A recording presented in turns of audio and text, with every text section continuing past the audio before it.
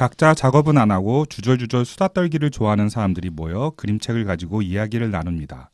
작업은 안 하고 수다 떠는 사람들 팟캐스트 시작합니다. 함께 하실 분들 각자 소개하겠는데요. 저는 일단 싱싱하고 싶은 생감자입니다. 저는 집에 숨어 있고 싶은 숨은 곰입니다. 안녕하세요. 저는 다람다람 다람쥐입니다. 저는 공공연한 공공재가 되고 싶은 욕망의 김공공입니다.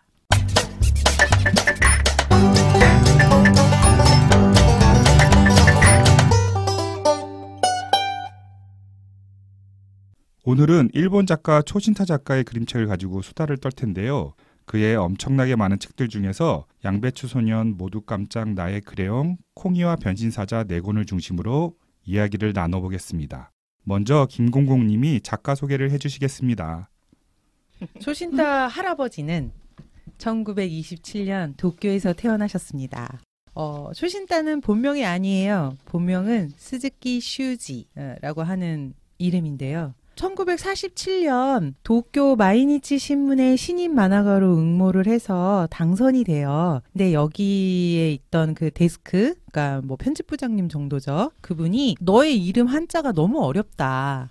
이름을 조금 신선하게 알기 쉽게 바꿨으면 좋겠다. 라고 해서 당시에 냈던 응모했던 만화가 롱으로 가는 테마를 가진 이야기였대요. 그래서 그 롱을 상징하는 한자로 길다의 장, 그다음에 그게 장이 일본 말로 쪼라는 그 은가를 가지고 있어요. 그리고 새로울 아 너는 신인이다. 그래서 새로울 신. 그 신은 좀 비슷하거든요. 신. 음. 그다음에 성공을 기원하며 너 큰 성공, 큰 대가가 되어라. 해서 클 태자를 써 가지고 타라고 해서 초신타가 된 거예요. 그리고 초신타는 이 이름을 이 데스크에서 지어준 이름으로 죽을 때까지 활동을 해서 이 이름으로 알려져 있습니다. 그래서 스즈키 슈지라는 이름보다 초신타로 알려져 있죠. 30세 정도까지 만화가로 활발하게 활동을 했고 이후에 사실 이 얘기는 초신타의 유작을 정리한 도이 아키후미라고 하는 굉장히 유명한 어, 편집 기획자가 있어요. 이분이 쓴 책에 의하면 호리우치 세이, 세이지라고 하는 굉장히 유명한 디자이너자 그림책 작가가 있어요. 이분의 추천으로 그림책의 그림을 그리게 되었대요. 이때 이제 신세계를 만나셔가지고 어린이 일러스트레이션과 그림책 제작을 시작했고 본업인 만화가 이제 만화가의 활동보다는 그 어린이 그림책의 그림을 그리는 어, 일로 이렇게 점점 점점 점점 포지션이 움직이기 시작했던 거죠. 근데 본인은 어른을 위한 일러스트레이션과 아이들을 위한 일러스트레이션을 반반했다라고 늘 말하곤 했대요. 1958년에 원숭이 사란이라는 그림책으로 데뷔하고 1959년 임금님과 수다쟁이 달걀부침으로 문해춘추 만화상을 받았는데 이 책이 71년에 다시 개정을 해요. 우리나라의 책들 중도 옛날에 제작했던 책을 다시 그려서 개정하는 경우들도 있거든요. 근데 본인이 별로 마음에 들지 않아서 옛날 책은 칼라감이 조금 지금과 다르고 만화를 그렸던 기법으로 직선으로 이렇게 찍찍찍찍찍 뭐라 할까? 되게 그래픽적인 그림이거든요. 근데 나중에 그 된 거는 지금의 어떤 형태를 되게 많이 가지고 있는 상태로 개정을 하게 돼요. 근데 초신타가 일화에 의하면 팬클럽에서는 옛날 그림 스타일을 되게 좋아하는 사람들도 있었대요. 그래서 고서점에 가서 이런 책을 막 찾아가지고 초신타한테 찾아가서 선생님 제가 옛날에 선생님이 이런 책 뭐 내신 책을 찾았어요. 너무 아름다워요. 근데 초신타는 어 그래 잘 됐네. 이런 식으로 굉장히 냉소적으로 대해서 아, 약간 과거의 나의 그림을 마음에 들어 하지 않는다는 소문이 있었는데 확실하다. 뭐 이런 일화들이 있었다고 해요. 어쨌든 이, 이 사람의 작품 자체가 결말이나 이런 부분들이 예상치 못한 혹은 막 진행될 때도 예상치 못한 전개들 때문에 난센스 그림책 작가라는 별명이 붙어 있고요. 기상천외하고 되게 독특한 유머, 유머가 그의 이야기의 큰 특징이라고 합니다. 2005년에 중인도암으로 세상을 떠나셨어요. 근데 거의 돌아가시기 직전까지 그림을 그렸고 암 치료를 하는 중에도 계속 그림을 그려서 사후에도 그가 그려놓은 그림으로 계속 출간이 되어서 아 진짜 어마어마하게 작업을 했구나라는 거를 반증하기도 했답니다. 네 이상입니다. 그럼 오늘 다룰 책 네 권을 각각 소개해 주실 텐데요. 첫 번째 책은 다람다람 다람쥐님께서 소개해 주시겠습니다. 다람다람 다람쥐가 소개할 책은 양배추 소년입니다. 아, 내용을 좀 말씀드리면은 간단하게 말씀드릴게요. 양배추 소년이 길을 걷다가 돼지 아저씨를 만나요. 모자 쓴 돼지 아저씨를 만나는데 아저씨가 얘를 보자마자 배가 고픈 아저씨는 얘를 먹고 싶어해요. 근데 양배추 소년이 얘기를 하죠. 저를 먹으면 이렇게 돼요. 근데 이렇게 돼요 하는 그 모습이 하늘에 떠 있는 거예요. 돼지가 이제 돼지 코가 양배추를 뼈는 모습이 하늘에 떠 있자 돼지는 놀라죠. 그러면 다른 동물들을 먹으면 어떻게 돼? 근데 그 동물들이 줄줄이 나오는데 그 모습들도 다 양배추로 변한 동물들이 하늘에 떠 있는 거예요. 그래서 아저씨는 너무 깜짝 놀라서 쓰러지고 그 모습을 본 양배추 소년이 너무 불쌍해서 아저씨 제가 저 마을에서 맛있는 거 사드릴게 하고 아저씨를 끌고 가면서 끝나는 책입니다. 다음은 우리나라 창비에서 번역 출간돼 모두 깜짝 쪼신따 초신따 쪼신따 조신따 정말 많은 그 다른 언어로 다른 음가로 초신따를 그 묘사하고 어, 쓰고 있는데요. 이 책은 쪼신따라고 써 있어요. 그래서 초신따라고 검색하면 이 책이 안 나와요.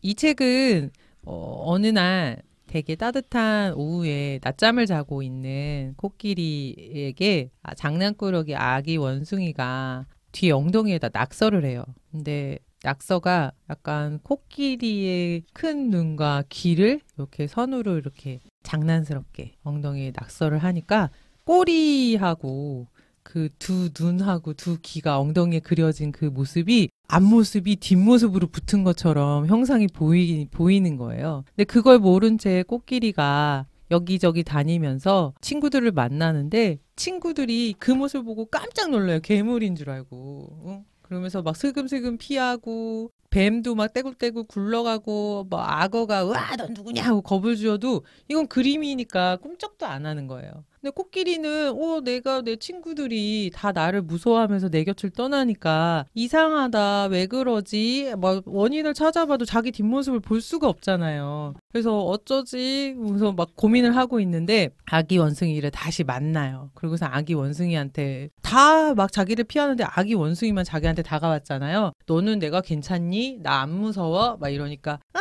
내가 뭐 내가 무서울 리가 없지. 왜냐면 네 엉덩이에 낙서한 건 바로 나거든. 그러고서는 미안해. 그러고서 엉덩이에 그림을 이렇게 지워지면서 끝나는 내용이에요. 다음 책은 나의 크레용인데요. 1993년에 발간된 책인데 제목처럼 누군가의 크레용이에요. 근데 이게 지금 엄청나게 큰 크레용인데 알고 봤더니 코끼리의 크레용이어서 이 코끼리가 색마다 이제 칠하면서 그걸 보고 동물들이 착각해서 벌어지는 해프닝이 나오다가 화가 난 사자가 혼내면서 쭈글쭈글쭈글해진 코끼리가 그렇지만 그래도 그림을 더 그리고 싶어 그러면서 되는 이야기 간단한 이야기입니다. 마지막으로 콩이와 변신사자는 콩이가 길을 가다가 사자를 만나요. 근데 사자가 자기 머리에다가 그 물뿌리개로 물을 뿌리죠. 그랬더니 갑자기 머리가 초록색 꽃봉오리로 변하더니만 점점 점점 피어서 꽃이 되는 거예요. 정말 뜬금없죠. 그러고 콩이가 지나갈 때마다 얘가 나타나요. 그래서 뭔가 변하는데 변하는 게 완벽하게 뭐 꽃으로 변하는 게 아니라 사자인데 일부분만 변해가지고 변신을 하는 거죠. 그래서 이 꼬마가 막 그때마다 깜짝 놀라면서 와 변신사자다 이렇게 놀라면서 계속 이어지는 그런 내용이에요. 굉장히 간단한 내용입니다. 결말이 어 이게 끝인가 싶은데 그 까닭이 이제 제가 이렇게 쭉 보다 보니까 잡지에 이 시리즈가 이렇게 쭉 연재되던 게 인기가 굉장히 많으니까 이거를 일부분씩 묶어가지고 시리즈로 책을 냈더라고요. 그래서 어 아마 이제 저도 그랬는데 딱 보고 나서 어 얘기는 어 그래 그 변하는 모습이 참 재밌기는 한데 근데 뭐 어쩌라는 거지 하는 식으로 결말이 이렇게 왜 기승전결로 이어지는 게 아니고 단편 단편 이제 이 사자가 변해가는 모습이 재미있는 그런 책입니다. 근데 사실 우리가 아이들의 입장에서 보면 뭔가 결말을 낸다라는 것 자체가 불가능하지 않나요? 그 자체를 그냥 책으로 잘 옮긴 것 같아요. 근데 늘 이제 이야기를 꾸미는 사람으로서 생각하기에는 왜 어떤 인물이 나오고 그 인물들의 성격에 의해서 어떤 사건이 발생하고 그 사건이 풀려야 결말을 맺는다라는 어떤 강박관념을 가지고 있잖아요. 근데 그게 이제 막 깨지는 거죠 여기서 이, 이 사람 책을 보면서 그래서 그게 오히려 어떤 해방감을 느끼면서도 약간 얄미우면서도 왜냐하면 저는 그렇게 못하니까요. 어 되게 막 예, 통쾌하게 느껴지는 경우도 있는 것 같아요. 예. 난 좀 이게 약간 허무 개그 같은 그런 것 같아요. 보다가 아 되게 기대하고 봤는데 뭔가 끝이 뭔가 허무해. 음, 근데 왜 형상이 단순하면 굉장히 많은 상상과 내가 알고 있는 정보를 총동원하려고 하는 인간의 음. 본능이 있잖아요. 어떤 형상이나 이야기가 단순하면 이게 도대체 뭐지? 라고 하면서 어떤 에피소드나 이런 것들을 끌고 오는데 초신따가 가지고 있는 힘이 그런 게 아닌가? 라는 생각이 저는 좀 들어요. 뭐 예를 들면 제가 봤던 모두 깜짝 같은 이런 책을 보면 사실 뭐 원숭이 원숭이가 다가와서 엉덩이에 낙서를 해가지고 모두들 막 와 이게 괴물이야. 근데 그거를 자기 뒷모습을 못 보는 코끼리만 그 사실을 모르다가 낙서를 했던 애가 미안해하면서 이렇게 지워주거든요. 근데 이걸 보면서 아 뭔가 이 사회적인 선입견 혹은 내가 모르는 뒷모습 나의 이면 내가 아무리 찾고 싶어도 찾지 못하는 그 이면을 누군가에 의해서 선입견을 덜 수도 있는 상황? 이런 여러 가지 상황이 막 이렇게 대입이 되는 거예요. 음, 굉장히 많은 것들을 여기에서 이렇게 유추해낼 수 있는 이야기에서 그래서 저는 초신따의 힘이 그런 게 아닌가 근데 초신따 자체는 아, 스스로는 이거를 그렇게 의도하지 않고 이 상황에 대해서 딱 즐겁게만 생각을 한다는 거죠. 근데 우리가 이거를 책으로서 읽어드리는 우리의 입장은 그런 많은 상황이 대입이 돼서 저는 이 사람의 이야기를 이렇게 맞닥뜨릴 때마다 엉뚱하다, 황당하다, 막 이런 생각에 그 조금만 더 시간을 한 몇 분만 더 써도 엉뚱함과 황당함 속에 어, 인생 자체가 이렇게 항상 엉뚱하지. 라고 받아들이게 되지는 것 같아요. 음. 사실 뭐 문학 작품이나 무슨 이런 책 같은 경우에는 왜 우리가 봤을 때 개연성이 있어야 된다라는 생각이 있잖아요. 그래서 오히려 엉뚱하고 뭐 이런 그 황당한 일들은 우리 일상 속에서 더 많이 이루어지고 우연히 일어나는 일들이라든지 이런 것들은 더 많은 것 같아요. 그리고 엉뚱한데 이 모두 깜짝이라 양배추 소년 주인공은 착해요. 맨 끝에는 되게 착하게 끝나잖아요. 음. 엉뚱한 상상을 하게 하다가 지워 이제 낙서를 지워주기도 하고 그리고 걔를 주, 돼지를 끌고 음식을 사주기도 하고 그러니까 기본적인 주인공 마음은 되게 착했던 것 같아요. 근데 초신따의 이야기 중에 좀 주인공이 음. 약간 악의를 갖고 있거나 뭐 장난 이상의 되게 심한 그런 뭐 장난을 친다거나 그런 경우는 별로 없는 것 같아요. 그러니까 음. 우리가 어렸을 때 사, 해볼 수 있는 되게 사소한 정말 음. 벽에 낙서 이거 사소한 건가? 벽에 낙서한다라는 정도의 어떤 느낌? 생각나네. 벽에 낙서했다가 돼지게 맞았네. 아, 미, 이것도 바- 새끼를 깨, 깨는데 아니 미꾸라지가 있었거든요 집에 두 마리가 어. 죽었어. 어머. 그래서 걔를 내가 이제 화단에다 묻어주려고 화단을 파고 걔를 묻은 다음에 왜 그런지 거- 벽에다가 미꾸라지를 계속 쓴 거야. 미꾸라지, 미꾸라지, 미꾸라지 부필로. 음. 와 그날 진짜 우리 엄마 보더니 다 죽었다. 지워라. 푸드를 맞고 겨울에 그 지우고 그런 일이 있었네요. 어, 갑자기 생각났어요. 그래서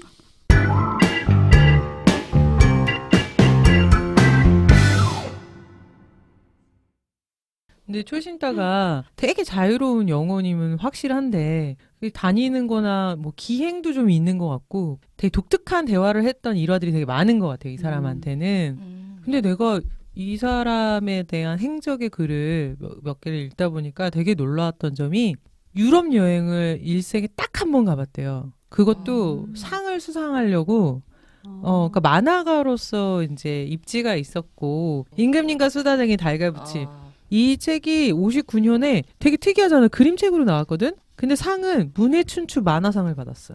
그래서 만화가 집단에서 이 책에 대한 상을 준 거야. 이 사람이 만화가라고 생각을 해서. 음. 그래서 되게 이례적인 일이었다고 얘기를 하더라고요. 근데 그만큼 만화가로서의 입지가 굳어 있는 상황이어서 어, 어디에서 그, 그 상을 준다 그래서 갔대 유럽에 간 김에 포르투갈 원래는 그 어. 상을 받으러 가는 명목이었지만 나는 놀다 오겠다. 아. 근데 그때 당시에 돈도 별로 많지 않았고 그래서 돌아왔을 때 영양실조 상태로 돌아왔대. 어 뭐야 진짜. 그리고 다, 돈도 다 떨어져가지고 정말 네. 엄청 생고생을 하면서 다녔나 봐. 근데 당시에 그 유럽 여행의 경험이 이 사람한테 굉장히 큰 영향을 줘서 사실 그림책을 할 때 되게 많은 영향을 줬다고 얘기를 하더라고.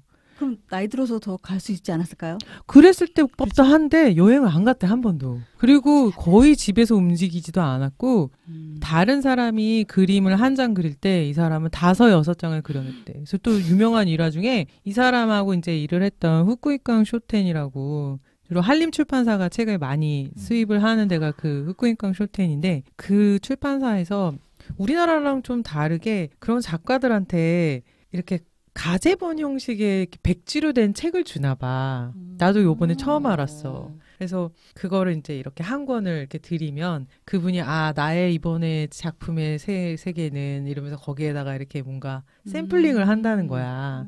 그래서 이런 책을 구상을 한다. 일종의 더미북을 음. 미리 출판사에서 백지 상태로 주는 거지. 음. 음. 그러면 이제 거기에 그려서 이렇게 주는 거야. 부담스러워. 받아봤으면 빨리, 빨리 그려줘. 아 근데 뭔가 이렇게 유명한 작가들한테 예우하는 차원의 어떤 그런 행위 인 것 같긴 한데 초신타한테 한 권의 백지 그 더미를 줬대. 근데 다섯 권이 돌아왔다는 거야.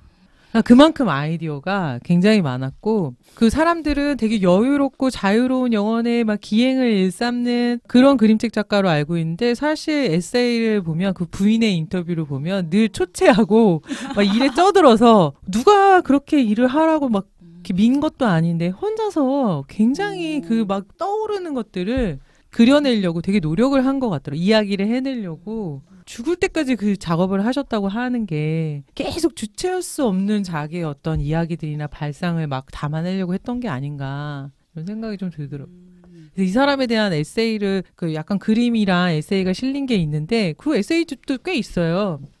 아 그냥 사보고 아 그림 보려고 그냥 늘 슥슥슥슥 넘겼는데 읽다 보니까 자세히 읽어봐야겠다. 너무 재밌다. 소설가 같다. 어. 라는 생각이 좀 들더라고요. 음. 그리고 기록을 굉장히 잘 모아놨더라고요. 음. 옛날에 했었던 작업들이 차곡차곡차곡 자료 데이터베이스가 굉장히 잘 돼 있어.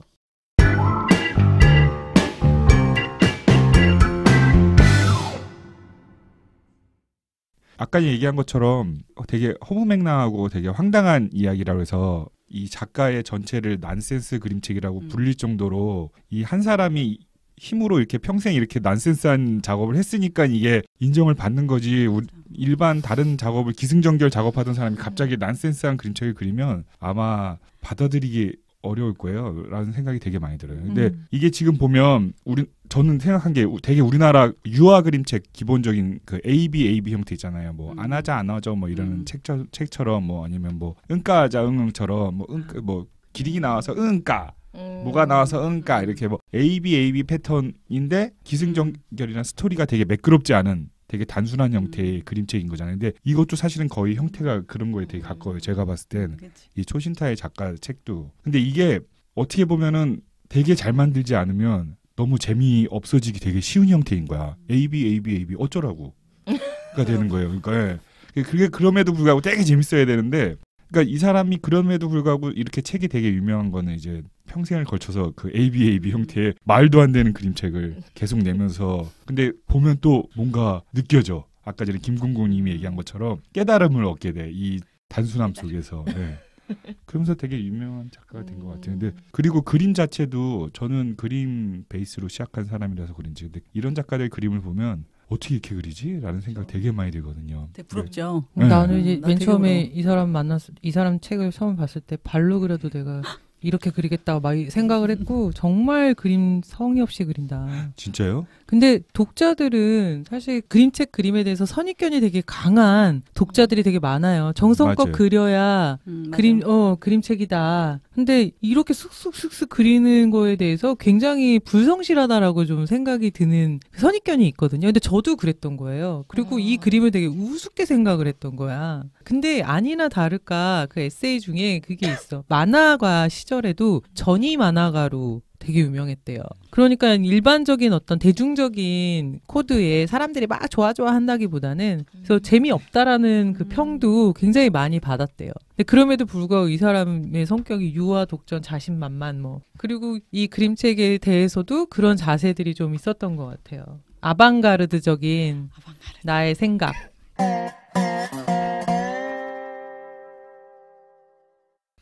전체 초신타에 대한 얘기를 한- 했는데 저는 이 네 권 중에 그래도 얘기할 거리가 되게 많은 책이 양배추 소년이라고 생각을 했는데 양배추 소년에 대해서 뭔가 하시고 싶은 얘기 있으면 각자 일단 그냥 던지면 이 책 그 일본식 넘김으로 책이 나왔잖아요 네. 작가의 요청에 의해서 이게 여- 왼쪽에서 오른쪽으로 아니 잠깐만 오른쪽에서 왼쪽으로 일본 책은 이제 걸어가는 방향이 음. 우리나라랑 바- 다른 거잖아요.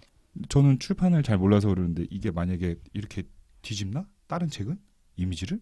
아 일본 걸 가져오면은 응. 좌우 반전을 해서 그러면 그림이 되게 이상하잖아. 좌우 출력을- 반전하면. 그런 경우들이 있어요. 아 그래요? 음. 네, 많고요. 근데 그러면 그림이 어색해지니까 그러니까. 요새는 그대로 살리는 편인데 음. 옛날에는 왜 이름도 바꿨는데 뭐. 이름은 많이 뭐, 바꾸죠. 뭐. 예. 이슬이의 첫뭐 심부름인가? 음. 그것도 이슬이가 아니잖아요, 아, 원래는. 맞아. 그쵸. 음. 네. 그러니까 그런 식으로 뭐 이렇게 막 개작을 하는 그런 것들이 많고 우리나라 것도 마찬가지인 것 같아. 그 이호백 선생님의 토끼똥 찾아가는 그 제목 되게 길어가 도대체 무슨 무어, 무슨 일이 있었을까인가? 어. 네, 맞아요. 그 네. 책 같은 경우에 이스라엘에 출간이 됐는데 이스라엘도 우리나라랑 읽기 방향이 달라요. 아, 그 그림을 다 반전해 놓은 거야. 음. 근데 그림 안에 이제 한글도 있고. 근데 그거를 다 반전을 시켜놔서 아 너무 가슴이 아프더라고. 음. 뭐 이게 그 그렇게까지 해야 디테일이. 될까? 네. 음. 근데 이거는 더 상황이 그럴 수밖에 없었던 게 길을 떠나 길을 계속 가면서 가는 거기 때문에 작가가 의도했던 방향대로 그-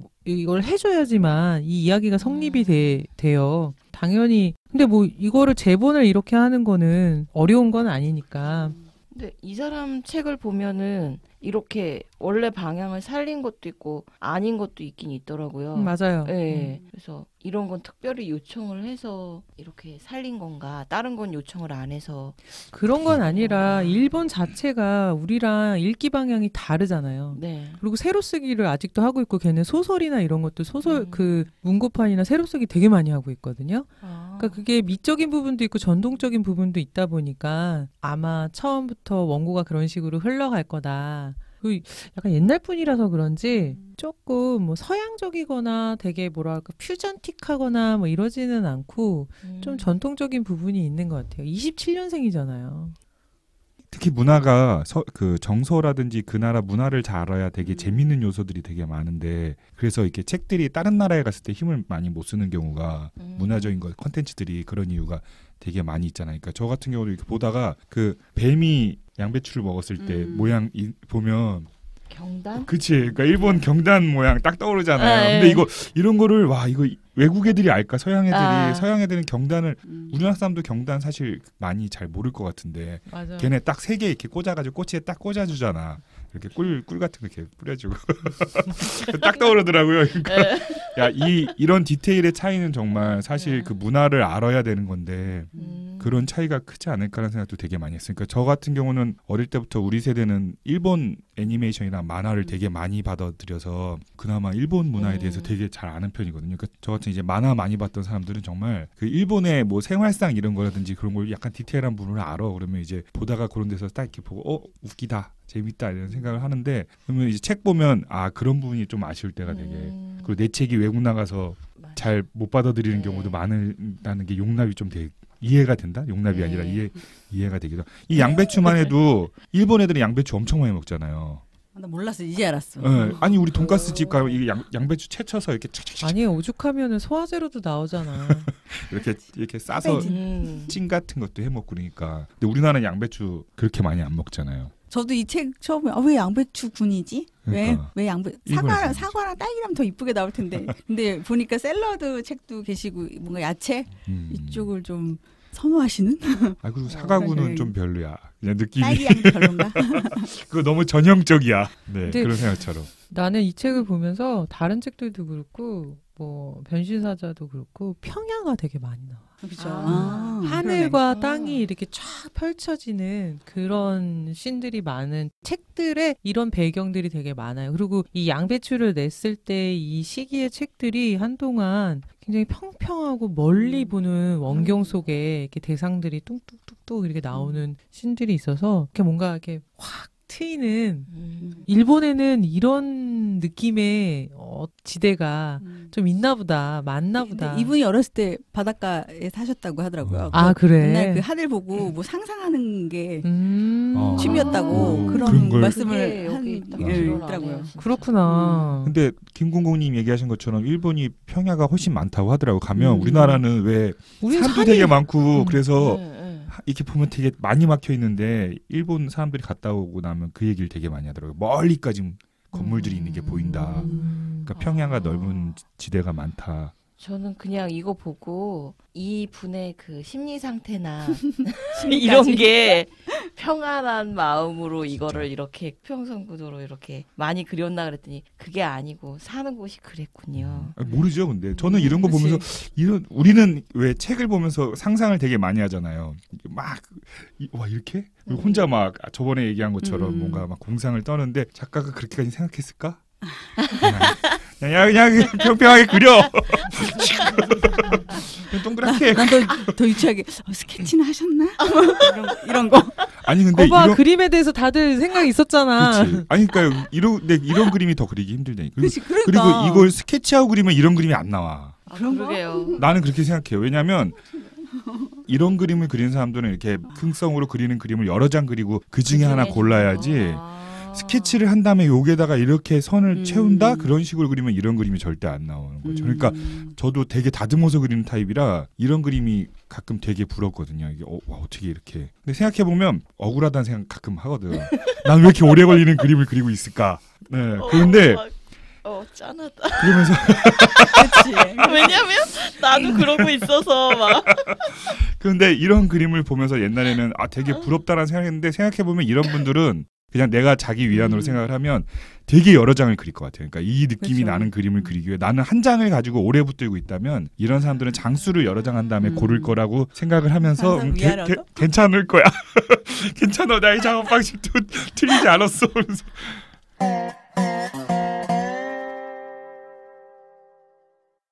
네, 책을 보다 보면 이 사람은 진짜 리듬이 되게 좋은 것 같아. 음. 그냥 뭐 대상이 나오네. 뭐 사자도 나오고 코끼리도 나오고 뭐도 나오고 뭐도 나오고 하는데 자 그러면 벼룩이 뭐 너를 먹으면 어떻게 돼? 다음 장에 나도 놀란 거야. 아무것도 없어. 화면에 아무것도 없는 거야. 그랬더니 당연히 돼지도 어 뭐야 아무것도 안 보이잖아. 벼룩은 너무 조그매서 안 보여요. 음. 야 너무 당연한 어 당연한 사실이 이게 화면이랑 같이 황당하게 나오니까 그 다음부터 되게 재미있게 음. 예, 보게 되는. 음. 근데 이 사람이 이런 걸 되게 많이 썼어. 음, 그죠? 맞아요. 뭐 샐러드 먹고 가 먹고 아자 이 책도 음. 중간에 그림이 사라지는 부분이 있어요. 대사만 하고. 어떻게 보면 몇 권 보다 보면 좀 전형적이돼라고 음. 생각할 수도 있는 음. 그런 호흡이긴 한데 우리나라 작가들은 사실은 이 이런 지점을 되게 찾아내는 게 어렵거든요. 근데 우리 너무 사실 얘기를 지을 때 밋밋한 것들이 되게 많아요. 계속 많이 보여줘야 된다는 그런 부담감 때문에 음. 밋밋해지는 경향이 좀 있어요. 리듬을 살리기 위해서 우리가 마치 우리 기억을 편집 삭제하듯이 뭔가 그런 의도성도 필요하다. 음. 근데 작가의 의도를 또 떠나서 그런 이런 식의 호흡을 저기 이 내 책은 아니지만 일할 때 한번 가끔 써봐 써보면 출판사나 관계 쪽에서 못 받아들여. 그러니까 되게 아. 저는 그림이 되게 복잡하잖아요. 그러다가 중간에 정말 넓은 화면에 되게 조그만 이미지로 하나 이건 충격적인 장면이니까 이- 오히려 더 작게 해서 이렇게 많이 그리면 심심하다고 이거 이거 어떻게 채울 거냐는 얘기가 저쪽에서 나와니까 아까 전에 수문검님 얘기한 것처럼 우리는 자꾸 이렇게 못하게 되는 이유가 내 스스로의 능력도 부족한 것도 있지만 자꾸 그런 벽에 자꾸 부딪히다 보면 내 스스로 자, 자기 검열을 자꾸 하게 되는 것 같아요. 그러니까 그런 장면을 써 써봤는데 적용이 된 케이스가 거의 없어요. 몇 번 일할 때 이렇게 널, 아, 막 이렇게 복잡, 내, 평상시 내가 그리는 복잡한 그림 사이에 딱 여기 한 장면에 임팩트다. 다 넓은 평에 요만 하나 뭐 하나 조그맣게 딱 그려놓으면 저쪽에서 못 받아들이는 경우가 되게 많아서 아쉽 때가 가끔 있어요. 이제 그러면 내가 강력한 포스를 가지고 있거나 의견이 근데 나 너무 기가 얇어. 그래서 막 이렇게 저쪽에서 좀만 얘기하면 다 설득돼 가지고 어그 그, 그, 그럴까요? 바꿔볼까요? 여기 써 있었잖아. 자신만만 유아 독전이었대. 되는 작가는 그게 좀 편한 것 같은데 참 부족한 생각이. 그리고 요 양배추 소녀 아까 전에 또 문화적인 거로 또 이어서 이 양 저는 초신타 책 아마 처, 제일 처음 본 게 아마 샐러드 먹고 아장가 음. 그 그쪽이었던 것 음. 같아요. 근데 어쨌든 그냥 뭐 와 그림이 되게 신기하네라고 정도였는데 저는 양배추 소년만 조금 되게 재밌게 본 것 같아요. 나머지는 음. 잘본 적이 없어. 음. 그러니까 한 두세 권 봤는데 이번에 그래도 여러 권 본 거야. 근데 양배추 소년 보면서 그 아까 전에 잠깐 얘기한 것처럼 이 이게 문화 그 동양적 사상의 철학적인 걸 약간 담고 있지 않냐라는 거대한 생각을 혼자 한 거예요. 그러니까 뭘 먹었을 때 그게 자신의 일부가 된다. 그러니까 서양에서는 전혀 그런 식으로 판단 안 하잖아요. 그러니까 돼지가 아저씨가 날 먹으면 이렇게 될 거예요. 뭐 뱀이 먹으면 이렇게 될 거예요 하는 게 그런 생각을 가지고 그러니까 동양적인 사상을 가지고 있는 생각에서 발현이 돼서 이런 책을 만들 수 있지 않을까라는 생각을 했었거든요. 음. 얼마 전에 나온 전 영화를 봤는데 너의 췌장을 먹고 싶어? 그래서 너무 내 그 제목이 요새 보기에는 너무 충격적이어가지고 근데 영화가 되게 달달하게 이렇게 포스터가 돼 있길래 뭐지? 그래서 짬나는 시간에 그걸 본 것 같아요. 봤는데 뭐 내용은 그닥 그 뭐 이렇게 그냥 뭐 첫사랑에 대한 얘기네요. 라는 생각은 했는데 아니 그 그런 부분이 있는 거예요. 양배추에 대한 얘기처럼 음, 너의 그 어, 누구 뭐 누군가의 건강한 췌장을 먹으면 뭐 나의 아픈 췌장이 음. 낫는다 뭐 이런 음, 의식이 있는 거죠. 음, 그게 동양적인 사상이라기보다는 약간 원시적인 생각 아니에요? 원시 부족들은 약간 그런 게 많아가지고 식인 풍습도 그렇게 해서 생겨났다는 얘기를 들었거든요. 그래서 저 사람의 뛰어난 능력을 갖기 위해서 저 사람의 일부를 내가 먹고 약간 그래서 식인풍습이 있었다라는 얘기가 있는 거 보면 그게 꼭 동양에 있었던 게 아니고 왜 그냥 옛날에 그 민간 신앙이나 이런 것처럼 원시 부족들이 가지고 있었던 그런 생각이 아닐까라는 생각도 해봐요. 그러니까 그런 효과에 관한 이야기는 그렇죠. 그러니까 전 네. 세계적으로 있잖아요. 그러니까 저는 그게 아니라 상대방을 먹 그냥 먹는 행위가 아니라 저걸 먹음으로써 왜 동양에서는 음. 내가 너의 일부가 된다라는 그런 어. 생각에 대한 얘기를 이 책 보면서 혼자 또 음. 상상의 나래를.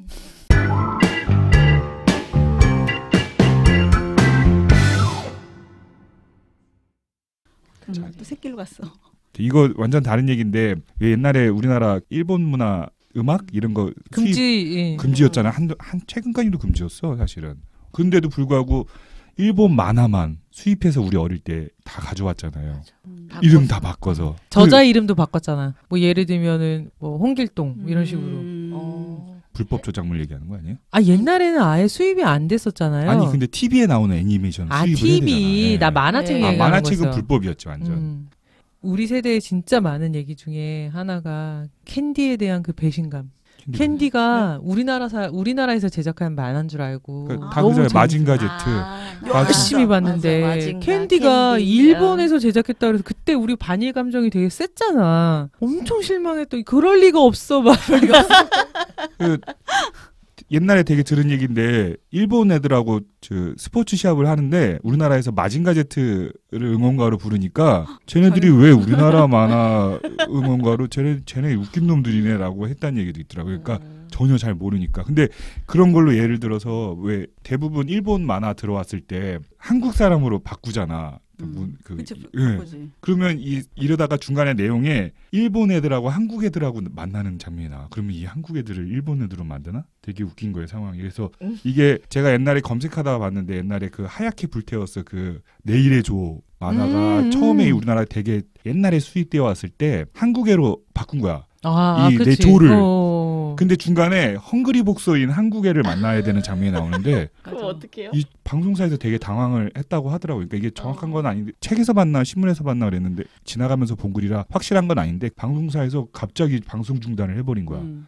자기네가 그래, 미리 다것 검토를. 안 해봤나 봐. 음. 그렇지. 그거 그 되게 야, 많잖아. 어, 야, 이 그냥 일본애로 해- 한국말 한국애로 해 하고서 막 하다가 한국애를 만나야 되는데 그 웃기잖아. 헝그리벅스인데 일본애로 바꾸기도 그렇고 우리 그때 당시에 걔네가 훨씬 잘 살았는데 그 방송 중단을 해버렸다는 얘기도 있더라고요. 그래가지고 참.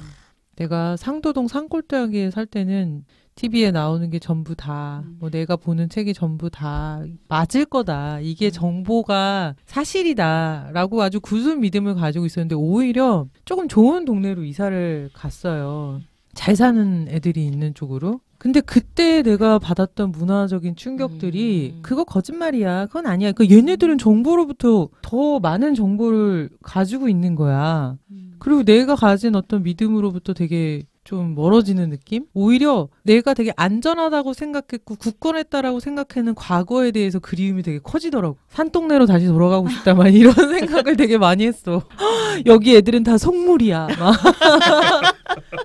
근데 지금 생각해 보면 약간 그런 통제되고 있는 사회들은 음. 비슷한 상황이지 않을까. 그래도 따라 일본 거라고 해서 있어요. 안 보신 건 아니지 다 봤죠 나중에 계속. 그 왜냐면 음. 그때 친구들이 불법 비디오들을 걔네들이 그거 뭐 뭐냐 그 도라에몽 음. 도라에몽 일본에서 살다 온 애들도 있었어. 음. 그러니까 그 도라에몽 비디오를 다 가지고 있는 거야. 오. 그래서 얘네들이 막 그걸 보여주고 그랬었고 나는 사실 그렇게 자유롭진 않았지. 다 이름 바꾸고 심지어는 만화책 표지에 그 이름도 홍길동으로 되어 있는데 사실 나중에 알고 보니까 막 일본 작가였다. 이런 책들을 보고 살았는데 내 동생은 이제 다섯 살 아래거든. 얘는 더 풀려 있는 거야. 음. 그러니까 얘는 막 시티 헌터나 막 이런 것들 불법 음. 복제된 그 내가 그걸 보던 시즌. 어, 비디오들을 막 들고. 오는 거야, 집으로. 그래서 내가 이미 고등학교 1학년 정도 됐을 때에는 내 동생이 들고 오는 그 비디오를 같이 봤어. 음. 너무 재밌는 거야.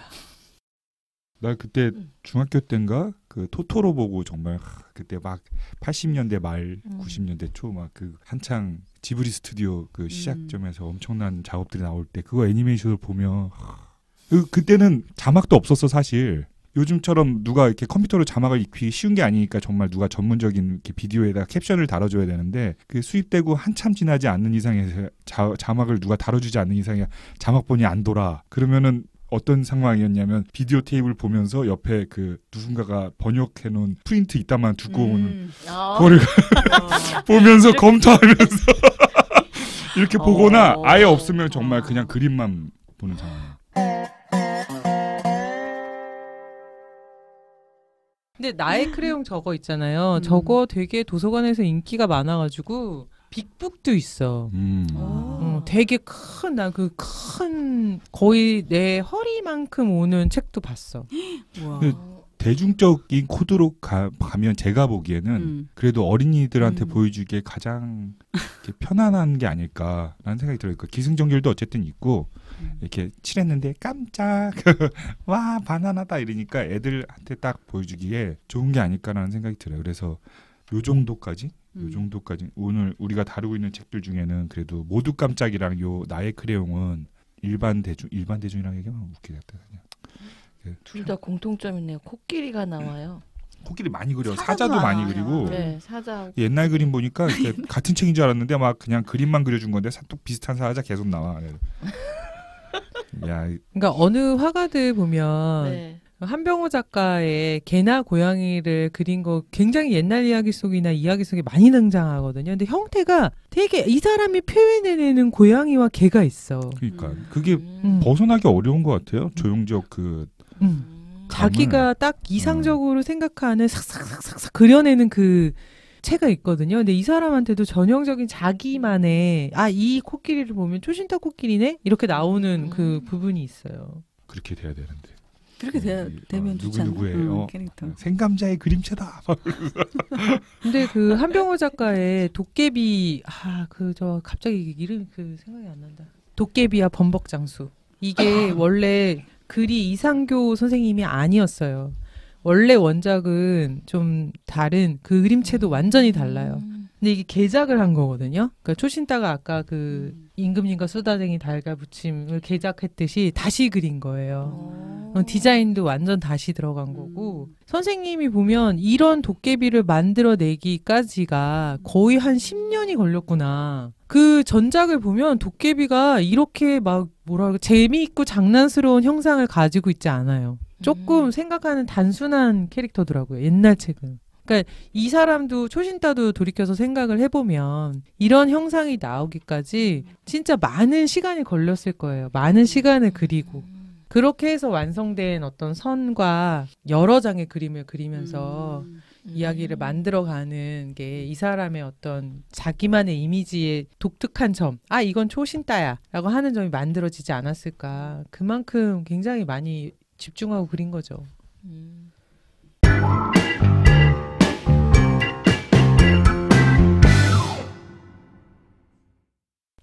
어쨌든 초신타 그림책이 난센스 그림책이라고 이제 통터 퉁쳐서 나오는데요. 우리 개인적인 경험을 음. 난센스는 없었는지. 일이 없었는지 아니면 뭐 어디서 들은 게 없는지 뭔가 좀 책과 관련된 개인적인 썰을 한번 풀어볼까요? 저 그냥 이제 막 던지면 제 경험은 아니에요. 경험은 아니고 그냥 그럴 때 보- 꼭 자기 경험이더라. 어. 아니에요. 보편적인 이제 경 이렇게 얘기를 보면 아 어, 어쨌든 내 경험일 수도 있겠구나. 그 명절에 우리 명절에 스트레스 받는 거 취직했니 결혼했니 이러 있잖아. 그러면서 어른들이 늘 결혼은 꼭 해야 된다 막 이렇게 자꾸 강요를 하는데 결혼 안 한 사람들한테 이게 보면 결혼 생활 되게 불행하신 친척분들 되게 많잖아. 근데 그런 분들이 자꾸 강요를 해. 그 나는 본케 우리 가족 중에는 뭐 아니었지만 뭐 다른 친구들한테 들어보면 자기는 이혼했는데 자꾸 결혼을 하라고 그래 친척 어르신이 막 그렇지, 너도 당해봐라. 아, 그런 건가? 아니 그런 거보다 그런 원래 못 가진 사람들이 더 로망이 큰큰 법 아니에요? 아니 근데 어쨌든 자기 삶이 결혼으로 이렇게 행복하지가 않은데 왜 자꾸 우리한테 결혼하라고 하는지 그냥 그게 그냥 좀 넌센스다. 넌센스하다라는 음. 생각이 불현듯 물어보는데 내 인생의 넌센스는 잘 떠, 떠오르진 않고 그냥 그런 그러니까 나는 뭐 결혼하는 잔소리가 뭐 이렇게 싫지는 않았어서 나도 나 저도 아기가 결혼 안 했고 애기, 애도 없으니까 어 애는 있으면 좋겠는데 결혼을 하기 싫고 음. 항상 이런 문제. 어. 아. 돈은 많았으면 좋겠는데 일하기 싫고. 그게 더. 와닿네요.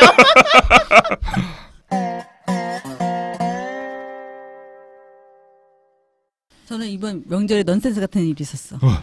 오랜만에 아, 만두를 해먹자. 엄마가 웬일로 우리 원래 사다 먹거든요. 해먹자는 거 그래서 그래 해가지고 진짜 열심히 만들었는데 그거를 삶아가지고 냉동실에 넣어야 되는 걸 몰랐어. 잘 어머님이 안 하- 모르세요? 모르시더라고. 그래서 그냥 어. 넣었다. 근데 그 다음날 했더니 수제비가 돼 있어. 다 터져 응. 아, 결국 수제 수제비를 어. 먹을 걸 만두를 너무 힘들게 빚었다는. 나만 주부냐? 맞아. 다, 터져가지고 몰랐는데. 네, 터져서 그- 그 수제비가 안, 돼 있어요. 안 삶은 상태에서 냉동한 다음에 끓이면 음. 끓일 때 넣으면 다 터져요. 어머. 아 진짜 몰랐어. 예. 그냥 껍데기 그냥 그 소기를 그냥 끓여 먹을 걸. 그렇지 이제 곤죽이 된 거지 그치. 만두 곤죽. 곤죽을 먹었다는. 예. 근데 맛있겠다 그것도. 그러니까, 어차피 뱃속에. 들어가면 똑같은. 아, 그래도 좀 보기가 아 네. 그리고 이렇게 몇 시간을 만들었는데. 초간장 찍어가지고 이렇게 싹 먹는 그 이렇게 잘라가지고 이렇게 먹는 아, 역시 맛이 여기 있잖아. 여기 주부가 있으니까 다 아네. 음. 그, 그 말이 너무 웃겼어. 나만 주분가. 몰랐다네. 네. 근데 나는 정말 살면서 황당한 일을 많이 겪으면서 되게 스틱하고 단순했던 생각들이 굉장히 많이 성장을 하고 사실 초신따 이야기를 좋아하게 된 것도 그런 것들이 되게 많아서 그런 것 같아. 나는 되게 잘할 거야 라고 생각했는데 그게 질서에 맞게 현실이나 내가 생각대로 가지 않는다라는 거를 이렇게 단순한 만큼 깨지는 것도 되게 컸던 것 같아요. 음. 그럼에도 불구하고 계속 내가 스스로가 되게 허당 짓을 되게 많이 하는 거야. 예를 들면 나는 건 대표적으로 건망증이 정말 어. 장난 아니거든요. 어떤 정도냐면 그때 이제 차를 삐빅하는 차가 아니었고 수동으로 잠그는 차였어요. 근데 열쇠를 이제 꽂아서 시동을 거는 옛날 차였던 거지. 시장을 어마어마하게 봤어. 그래서 뒷칸에서 막 짐을 내리고 뒷문을 발로 펑 닫고 앞문은 왜 우리 옛날에 이렇게 잠근 다음에 이렇게 닫으면 그게 닫혔거든 네. 그냥. 그래서 잠근 다음에 발로 잠근 다음에 발로 잠근 거야. 그러고서는 그 짐을 들고 뜨뜨뜨뜨 올라갔어. 그리고 밤이 됐어. 그러고서 막 오빠 뭐 어쩌고 저쩌고 남편이랑 내일 뭐 어떻게 갈 거야. 그래서 내일은 어디 어디 갈 건데 아 준비를 해야겠다. 가방을 막 뒤지는데 차 키가 없는 거야. 어떻게? 밤 11시에. 한참 생각해보니까 내가 차 키를 꽂아놓고 그냥 내린 기억이 나는 거야. 음. 다다다다 내려갔다? 지하 주차장에서 어디 어디선가 들리는 오이 혼자 어머. 공회전하고 어머. 있는 차가 그 내가 시동도 안 끄고 어 그냥 열차 열쇠를 꽂아놓은 채로 차문을 닫고 그냥 올라온 거야. 근데 나는 그 주민들이 너무 원망스럽더라고. 왜냐면 그게 한 일곱 여덟 시간 혼자 돌고 있었는데 그 지하 어머, 주차장에서 그러면 아무도 안 알려. 아무도 안 알려준 거야. 근데 이- 모르지 잠깐 비었다가 오는 건지 어떻게 알아 그거? 어, 근데 어, 뭐 그렇게 그냥 한 번 지나치는 사람 모를 수도 있는데 경비 아저씨조차도 순찰을 한 번도 안 했다는 거잖아. 얼마나 이상할 거야. 냄새도 되게 심하게 났을 텐데. 음. 뭐 그런 기억이랑 한 번은 차에 시동이 또 안 걸렸어 겨울에. 근데 그때 짐이 있었다. 짐이 뭐였냐면 액자였어. 그림들은 액자, 어. 유리 낀 액자였어. 내가 막 짐을 이제 이렇게 짐을 뒷자리에 지- 안전하게 실어야 돼서 그 실기 전에 겨울이니까 시동을 걸어야겠다. 그리고서는 지- 차 지붕 위에다가 액자를 올렸다. 설마. 설마. 그리고 시동을 걸었어. 시동이 안 걸리는 거야. 그 순간 패닉이 왔어. 왜 시동이 안 걸리지? 왜 시동이 안 걸리지? 막 이러면서 막 도움회사에다 막 전화하고 그 사람하고 막 의논하고 한 10분 정도 흘렀어. 근데 이제 이게 열을 좀 받았는지 시동이 걸리더라고. 와 시동이 걸린다. 그러고서 출발했어. 어땠을까? 그래서 막 길을 가고 있는데 갑자기 전화가 오는 거야. 그랬더니 우리 남편이 너 지금 차 지붕에 뭘 싣고 가는 거야? 이러는 거야. 그래서 어? 그래서 순간 이제 차를 막 급하게 세워서 봤는데 경비 아저씨가 내가 나가는 거를 현관에서 만화 같은 일이야. 어 그래도 다행히 이게 떨어지지 않아서 그래요. 다행이네요. 안전하게 떨어질 그림을. 배달했다는. 군요. 그래서 너무 그런 넌센스적인 말도 안 되는 상황을 내가 많이 만들어내면서 살다 보니까 세상 일이 좀 더 유연해지게 되는 것 같아. 해외 여행 중에는 두 번째긴 한데 그래도 이제 일본을 갔어요. 근데 왜 그 일본에 가고 입국 심사를 하는데 친구들은 다 나가고 있는데 제가 마지막이었어요. 근데 그 사람이 에스포 에스포 이러는 어? 거예요. 그래서 대체 왜 뭐라는 거지? 몰라가지고 이러고 쳐다보고 있으니까 손을 이렇게 손뼉을 닫았다가 펼치면서 자꾸 여는 표시를 하는 거예요. 돈 달라고 그러나? 그래서 아니, 이 사람이 뭐라는 거지 왜 자꾸 연락을 해 그래서 내가 좀 수상해 보이나 하고 그, 그때 이제 겉옷이 이렇게 똑딱이로 된 건데 옷을 퍽 이렇게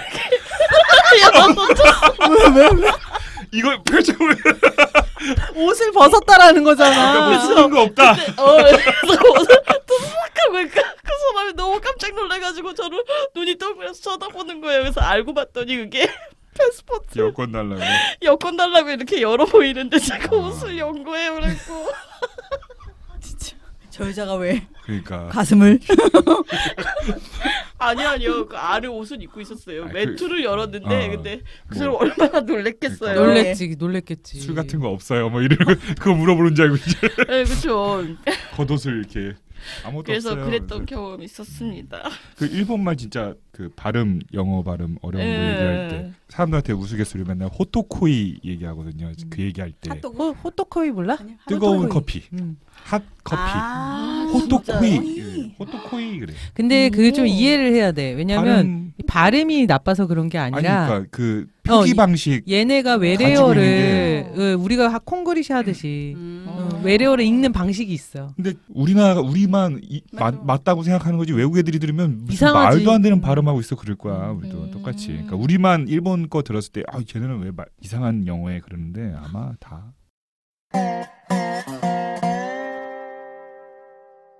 일본하고 이제 발음 얘기하니까 저도 생애 처음 여행을 일본으로 갔는데 음. 아까 전에 얘기한 것처럼 그래도 일본 오락도 하고 이랬으니까 아, 조금 공부하고 가면 음, 되겠다. 통화를 음. 대화를 할 수 있지 않을까라는 정말 막 열심히 공부를 했어요. 한 3, 천태형이라고 막 설레서 3개월을 공부했어요. 일본어로. 막 와. 많이 집에서, 했네. 집에서 혼자. 대박. 아, 근데 가서 처음에 도착해서 500엔 길거리 포장마차에서 뭐 사 먹어야 되니까 이게 500원짜리 500엔짜리예요라고 물어보려고 했는데 머리로 이렇게 논리가 되면서 이거를 500엔 됐을까? 그래서 500을 번역을 안 한 거야. 그러니까 아 그때 같이 갔더니 지금은 아내인 여자친구가 이 새끼가 뭐 하는 짓이야? 아저씨는 이제 태평하게 그냥 어, 어, 어, 돈 그냥 달라고 그냥 그래가지고 아 실수했다. 한 번 처음 첫 마디 시작한 건데 실수하고 나니까 너무 쫄아가지고 못 쓴 거야. 아, 그래서 일본 여행 내내 못 쓰다가 한, 한 5, 6일 다녔더니 이제 좀 다시 자신감이 생겼어요. 그래서 음. 이제 다시 써야 되겠다. 한번 써보자. 그래도 3개월 공부했는데 네. 그래가지고 식당에 딱 도착하자마자 따뜻한 거 잘 안 좋아하는데 일본 애들 차 많이 갖다 주잖아요. 그래서 익힌 것도 써야지 해가지고 찬물 갖다 주세요. 해가지고 오미지 구다사이 딱 그랬는데 그럼 찬물을 갖다 줘야 되잖아. 얘가 무슨 말을 하기 시작하는 거야. 근데 여기서 가장 큰 문제점이 내가 안 들린다는 거지. 어 나는 내가 공부를 하는 게 문제가 아니라 난 들을 수가 없구나 지금 나는 이 3개월이 되게 허무한 거였구나 그러니까 알아들을 수가 없더라고 그런데 그랬더니 막 손가락 가리켜 이렇게 딱 봤더니 영어로 셀프라고 써 있더라고 아. 네가, 갖다 먹어라 아 이거 셀프니까 찬물 네가 갖다 먹어라. 그래가지고 딱 두 번 시도해보고 음, 안 되겠다. 예. 그래가지고 이 영어를 썼어 또. 영어 쓰는 게 낫지 차라리. 그러니까 영어를 썼는데 걔네는 특히 우리나라보다 더 영어를 잘 안 쓰더라고요. 음. 몰라 발음 차이도 있겠지만 영어 자체를 잘 안 그러니까 공부를 많이 안 하시나 봐 이렇게 대중적으로 그래서 좀 자신감이 좀 생겼는지 막 쓰다가 어, 아, 한 번은 또 이제 막 이렇게 썼는데 상대방이 영어 완전 익숙치 않은 사람 나도 나도 그런 상황 있었어. 막 쓰다니까 또 쫄아가지고 하나도 귀에 안 들리고 아. 아, 이거 영어도 막 쓰면 안 되겠다. 지금 결국 반벙어리로 들어. 입은 있는데 입 말을 못해. 입은 있는데 말을 못하고. 그, 예, 그런 상황이 됐더랍니다. 네. 그러니까 누가 외국어 공부하는 사람이 그런 얘기를 하더라고. listening이 진짜 중요하다. 음. 그러니까 말하는 것도 되게 중요하지만 맞아 맞아. 그러니까 우리가 맨 처음에 말, 내가 말하는 걸 위주로 막그 네. 공부하잖아요. 근데 그게 어느 정도 되면 우리 listening 시험 봤을 때 너는 이걸 왜 하지? 막 이랬었거든. 음. 고등학교 때도. 음. 들어야지만 말할 수 있다라는 그 그러니까요. 개념이 탑재가 안돼 네. 있었던 거야. 나도 내가 딱 그거였지. 3개월을 열심히 내가 피- 실용 일본어 막 공부해놓고 말했지만 피드백을 들을 수 없어. 어, 바보 같은 짓을 한 거지. 그러니까 나중에 그게 원리를 알게 되니까 나 어떤 현상이 벌어지냐면 외국에 나가면 질문을 잘 못하게 돼. 음. 그러니까 통역자가 있으면 막 하는데 통역자가 없으면 전혀 안 하게 돼. 왜냐면 내가 그 피드백을 받을 수가 없으니까. 아. 근데 나는 저기 생감자님처럼 저런 경험이 있어. 왜냐 면 외국에 몇 번 많이 나가봤으니까 1차. 근데 막 얘기를 하다 보면 내가 쓰는 주 외국어가 일본어인 거야. 근데 걔가 뭐라고 뭐라고 얘기했는데 내가 알아들었어요. 근데 내가 바로 나가는 그 직관적으로 딱 나가는 말이 일본말로 대답을 하고 있는 거야. 그러면 그 대답을 내가 일본말로 해놓고도 내가 일본말로 음, 대답했다라는 거 영어로 대답했다고 그러니까 아는 거야. 그 상대방이 반문해. 뭐라고? 이게 네가 단어 쓴 게 뭐야? 라고 어 순간 어 미안하다고. 그러고선 다시 막 영어로 음. 바꾸고 이거 일본어와 영어를 같이 공부했을 때 패. 맨날 그- はい. 네. 내 그러면 yes はい. 어, 뭐, 안녕. 갑자기 이 자식이 왜 얘기하다가 안녕이라는 거야? 근데 그게 참 문화마다 다른 게 독일애랑 막 얘기를 그러니까 나 영어 잘 못해. 이렇게 하면 영어 엄청 잘하는 것 같은데 영어 잘 못해. 근데 어느 정도 이렇게 listening이 되는 상태에서 막 얘기를 하다 보면 내가 추임새를 넣게 되잖아. yeah? yeah? 이런 식으로 넣었어. 그랬더니 얘가 그거 왜 자꾸 하냐. 그게 너의 무슨 의미냐? 물어봐서 아무 의미 없다. 어, 되게 나는 자연스러운 추임새라고 생각했는데 아니구나. 그러니까 문화권마다 이게 다른 아. 거야. 아, 그 미국 애들만 그러는구나. 아하. 음. 뭐만 하면 막 그래 어. 막 wonderful 그 되게 조심해야 된다고 그러더라고. 이, 뭐 일이나 이런 거 했을 때 처음에 막 wonderful great 막 이러면 그게 좋다는 다- 의미는 다 아니야. 믿으면 안 된다고 그러더라고. 맞아. 그 그냥 무조건 일단 뭘 하면 다 와! 다 이래준대. 근데 실제로 이제 결정하거나 이럴 때는 전혀 그거랑 상관없이 결정이 가서. 나쁘다. 아니 이제 문화권이 다른 것처럼 이제 뭐 어, 근데 그렇게 생각하면 일본 애들도 비슷해. 와 아. great 하진 않지만 그러니까 그 주로 좋은 안 나쁜 얘기 잘 안 하는데. 거절을 거절을 되게 정말 뜨뜻미지근하게 해서 우리 쪽에서는 그게 계속 일이 진행되는 거라고 오인하는 경우들이 되게 많아. 음, 안어 그럴 수 있지. 이름이 안어. 그것도 있잖아. 오이 다 오이시야. 다 오이시. 오이시 아닌데. 아 그래요? 아 おいしい 거 하니까. 생각을 하니까 내 친구가 이제 회사 다닐 때인데 일본 바이어가 왔대요. 그래갖고 커피를 타드린 다음에 이제 물어본 거예요. 음. 이 커피 맛있냐고. 근데 너 이 커피 맛있어 하고 물어보려는 거를 私はおいしいです 이래. 뭐야 진짜. 그 사람 엄청 놀래고 나는 맛있습니다. 이거 어쩌라고. 날 먹으라 식인 시, 한국의 식인 풍습이 아니 비즈니스 관계로 만난 사람한테 그쵸. 그러니까 어. 회사에서 바이어가 와갖고 이제 차를 이렇게 주면서 사무실에서 그래갖고 엄청 당황했다는 얘기. 근데 비즈니스 관계를 할 때 말을 잘하는 것보다 말을 좀 어눌하게 하는 게 외국인을 서로 음. 외국인 상태로 거래를 할 때는 그게 훨씬 더 낫대. 어 그래요. 어, 말이 간결해지고 저 사람이 우리나라 언어권을 잘 모르니까 어. 내가 갖는 자신감도 있고 상대방이 그래서 너무 말을 잘하는 것보다 어느 정도 그냥 하는 게 훨씬 어. 거래에 도움이 된다.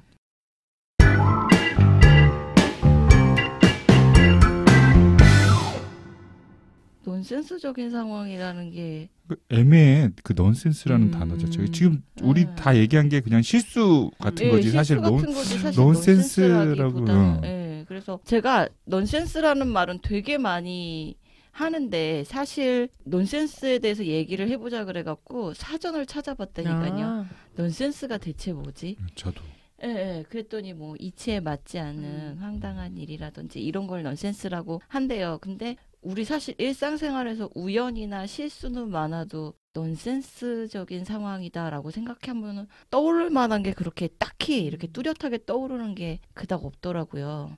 근데 애들은 그런 게 많은 것 같아요. 그 수업을 하다가 이제 나는 다른 의도로 얘기를 했는데 걔는 이제 엉뚱한 얘기를 한다던가 황당한 얘기를 한다던가 이런 경우는 있는 것 같아요. 내가 동물띠를 너는 무슨 띠야? 그런데 초록띠요. 막 이런 거 있잖아요. 태권도 띠가 뭐. 음. 그러니까 뭐 이런 식으로 그거 나 자주 하는데 그런, 말도 안 되는 황당한 여자 예, 예, 그래서 뭐 그런 상황이 되게 많은데 일상생활에서는 그닥 예, 그리고 생각해 보니까 조금 부정적인 의미로 되게 많이 그치. 쓰는 것 같아. 이 단어를 배- 굉장히 많이 쓰기는 하는 것 같거든요. 난센스를요? 어 일상생활에. 근데 난센스를 부정적으로 쓰나? 부정적으로 예를 들면 어떤 상황이 막 펼쳐지는데 그 넌센스다. 그거 말도 안 된다. 이, 음. 이렇게 되게 많이 사용을 하는 것 같아. 이치에 맞지 않은 것도 있지만 황당하고 음. 일어나서 일어남으로 인해서 뭔가 혼란을 일으키는 그런 일에 되게 많이 사용을 했던 것 같아. 음. 웃긴 일보다는. 너 어제 겪었어. 길을 지나가는데 스피치가 되게 이쁘잖아요. 털이 하얗고 아. 그게 스피치거든요. 그러니까 폼의 큰 버전. 근데 그걸 끌고 가는데 어떤 여자가 끌고 가는데 어떤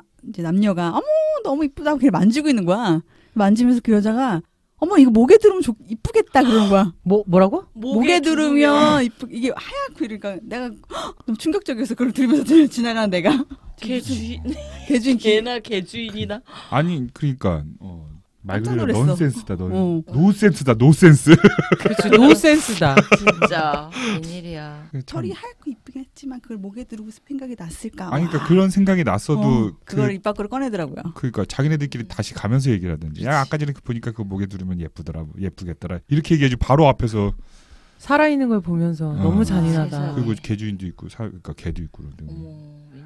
그러니까 우리가 인간이니까 이렇게 얘기하는데 사실 생명 대 생명으로 보면 어쩔 수 없이 먹어야 되는 생명에 대해서 존중을 우리도 살아야 되니까 먹어야 되잖아. 자연계에서 그런 얘기가 있더라고. 사자도 배가 부르면 먹지 않는다. 응. 안 잡아 바로 앞에 있어도 눈앞에 있어도 안 잡아 먹는다. 근데 우리는 저장이나 잉여를 만들어내면서 막 무분별하게 키우고 음. 무분별하게 사육하잖아요. 그런 거에 대한 생명에 대한 경외심이 진짜 너무 없어지는 것 같아. 그래서 좀 미안해. 사실 이거는 먹긴 먹어야 되는데 너무 미안해. 그리고 소 같은 경우는 너무 많이 키우니까 소의 그 방구, 그 환경 오염. 음. 환경 오염으로 또 나타나고 이거 진짜 방구 종량제 이런 거 해야 되나? 사람들도 사람들 저거 넌센스라고 하지 않아? 방구 종량제. 요 음식물 요즘에 봉투 말고 이제 어, 돈 내고 하는 하는 거 거. 있죠. 어, 그 엉덩이에 센스를 달아야 그러니까 된다니. 엉덩이에 하나씩 붙여서 방구 뿜. 생감자님 어쩜- 오늘 10회 방구 끼셨습니다. 갑자기? 그래서 15리터. 그래서 띠리비리 그 바로 통장에서 돈이 나가? 아 미치겠다. 네. 시간이 마무리를 해야 될 것 같네. 예. 이거 막 저 더 많이 써 되게 웃긴 거 써왔는데. 해봐요. 해봐. 아 웃긴 건 아니고 그러니까 이 점녀 넌센스 얘기하길래 뭐 이런 거 써왔어. 핵폭탄 보유 제한 살상 무기의 규제. 그러니까 본인들이 와, 가지고 있는데 음. 남못 가지게 하는 이런 야. 상황이라든지 전화 투륨 소금 이런 광고 같은 거 보면서 야 저게 저건 진짜 웃기다. 나트륨 어. 소금. 말이 안 된다 진짜. 아니 나 다른 거보다 저 나트륨. 아니 그러니까 나 다른 거보다 나트륨 함량이 좀 작다는 거. 그러니까 아, 왜냐하면 아, 아. 우리 그 음. 그 천일염 손전할 때도 그거 되게 음. 마그네슘이나 이런 음, 미네랄이 음, 더 많이 음, 들어있다는 거. 음. 그 나트륨이 좀 더 더 적게 들어있다는 거잖아요. 그러니까 음. 나트륨 좀 더 적게 들어있으니까 나트륨 섭취량이 적어질 거다라고 음, 선전을 음. 이렇게 해요 천일염. 근데 웃긴 게 나트륨 내가 나트륨 섭취량 섭취를 하려고 그걸 사는 건데 아니 근데 그것도 그렇지만 나트륨 함량을 보고 내가 넣는 게 아니라 짠 정도를 맞추서 먹는 맞아, 거죠. 그러니까 맞아. 나는 그 먹으면서. 나트륨을 맞아. 그만큼을 맞춰서 너 거차, 어차피 넣는 건데 와 저런 식의 한 거는 완전 개사기인데 라는 생각. 어, 어, 나는 그런. 그런 거라든지 뭐 무설탕 잼 뭐 이런 거 있어요. 음. 되게 많아 요즘에 무설 근데 무설탕이 정말 말 그대로 우리나라는 그게 되게 심해 무설탕 음. 무 뭐뭐 다섯 가지가 안 뭐 다섯 가지 무예요 뭐 이런 식으로 음. 광고 되게 많이 하는데 무설탕이라 그러면 설탕만 안 들어갔지 다른 과당이 들어가요 다른 당이 들어가요 그렇겠지. 그러니까 딱 설탕이라는 애만 안 넣었다고 해서 무설탕이라고 쓰는 거예요 완전 그죠. 장난 말장난을 하는 거야 그렇네. 설탕이 낫지. 넌센스네. 음, 맞아. 예, 그래서 이런 걸 보면 이런 거 이런 거 막 모아온 거야 이런 거아 좋은 거 모았네. 근데 나 네. 지금 순간 들으면서 생감자님의 말씀을 들으면서 마음이 짠했어. 얼마나 쇼핑을 할 때 주부의 정신으로 그치 어, 했으면 냉철하게 어, 저런 아. 것들에 소세지 막- 돼지 돼지고기 함량 나도 그거 봐. 돼지 돼지 대부분 80%에서 90% 사이거든 돼지고기 나 함량 그거 꼭 봐. 하여튼 이런 걸 이런 걸 먼저 던질 거랬나 하여튼 이런 거 그러게. 적어 왔었어 어. 넌센스한 넌센스하네. 일들. 음.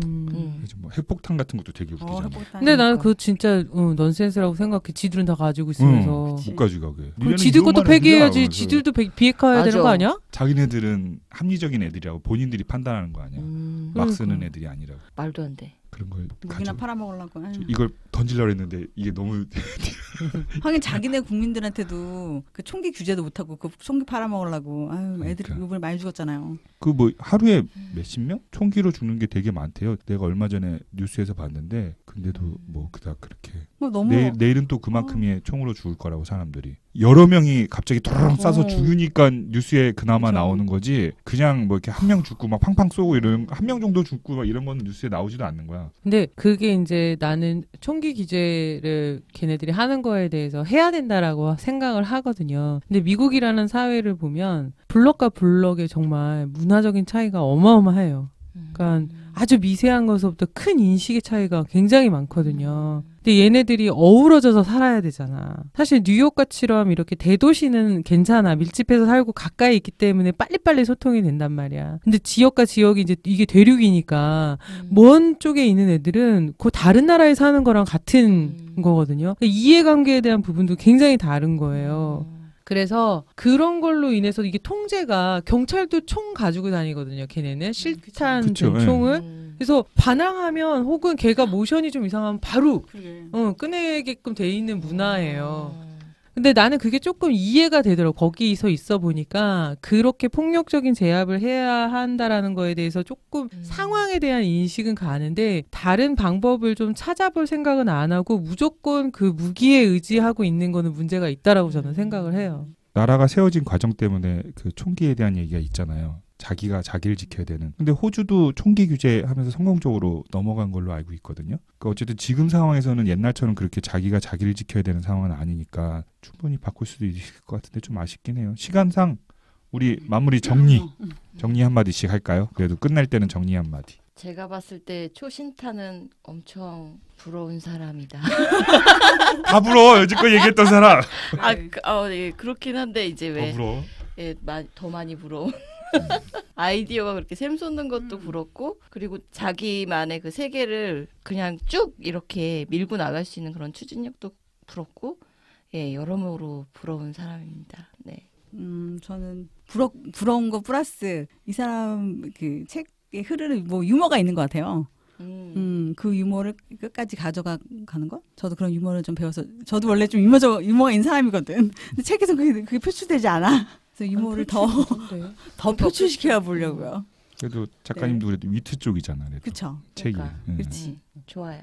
아까도 말했지만 나한테는 아주 큰 전환점을 만들어준 작가였는데 이렇게 죽을 때까지 되게 순수한 어린이성, 되게 아주 음. 인간이 갖는 세상을 바라보는 본성, 첫 번째 어떤 드는 생각들, 상상 이런 것들을 잃지 않고 이 나이까지 쭉 가져간다는 게 아 대단하다. 그래서 나도 이런 생각을 하면서 좀 이렇게 살아가고 싶다라는 생각을 하게 되는 작가인 것 같아.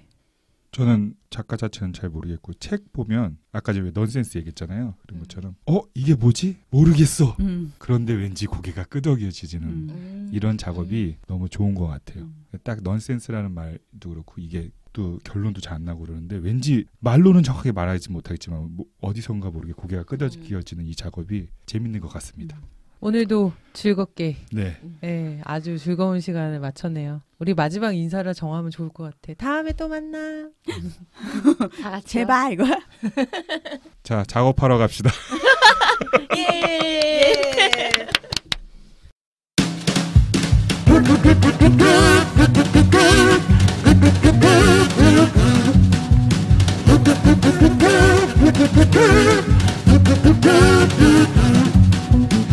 Do do do do do do do do do do do